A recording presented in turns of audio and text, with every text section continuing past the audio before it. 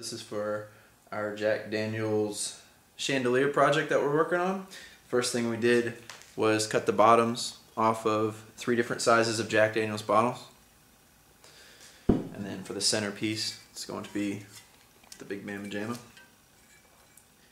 We did that using a wet saw. They'll be hanging from this 1920s car wheel.